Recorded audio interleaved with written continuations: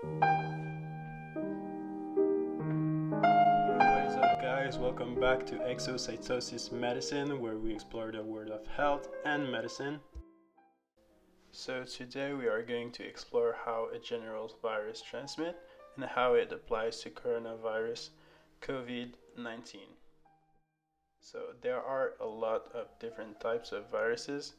There are DNA, RNA, and they all use different ways to infect our cells, but they kind of work in the same way.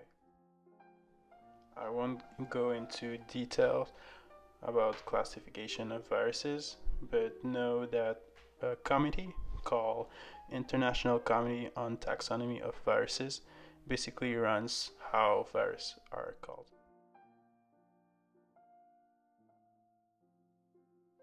So our focus for today will be what we call zoophagoinae.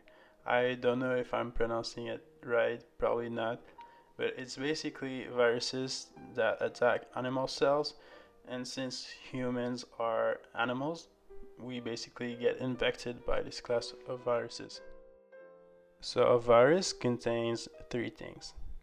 The first one is what we call a capsid.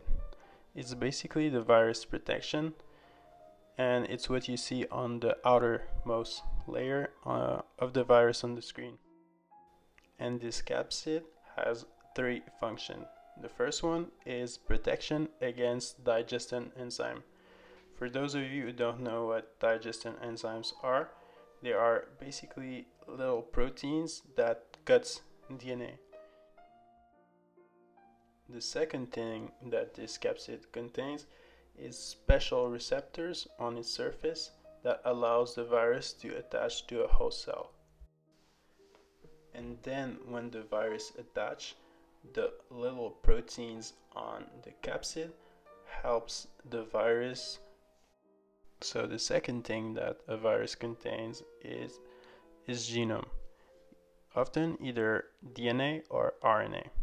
So a virus basically has to put his genome into our genome and force translation of his protein, which we call the viral protein. So a virus is like a terrorist. It forces you to do work for them so they become stronger. It treats your cell like a little bit and infects other cell.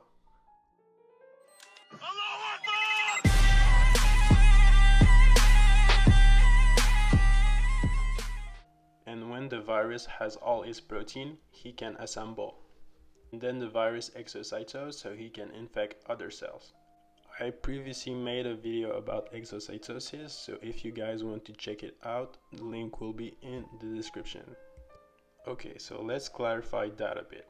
So first off, the virus attaches to a specific receptor, then the virus membrane fuses with the cell membrane, then the viral nucleic acid, so either DNA or RNA, enters the cell, and then the virus uncoats so the viral capsid is either removed by viral enzymes or host enzyme. So then the viral protein replicates, then the virus assembles, and then the virus either exits the cell by lysis or exocytosis. So what is lysis exactly? Well, it's the breakdown of the cell's membrane. So this is because the cell died.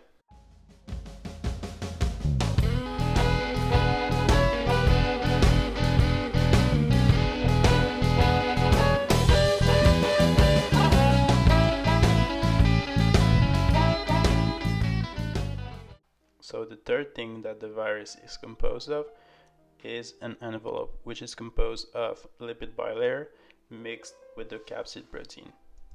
So now we can apply the knowledge that we just gained to coronavirus 19. So what exactly is coronavirus 19? First off, COVID-19 st stands for Corona Virus Disease 2019. So coronavirus is a RNA virus that binds to ACE2 receptor of the plasma membrane.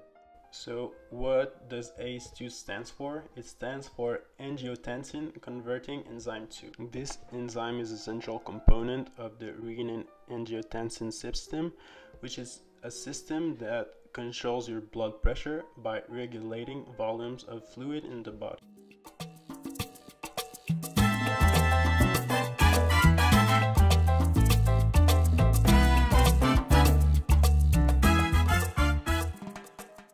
So that's basically all I had to say for today. Thank you guys. Please subscribe, give a like, and share with your friends. Bye.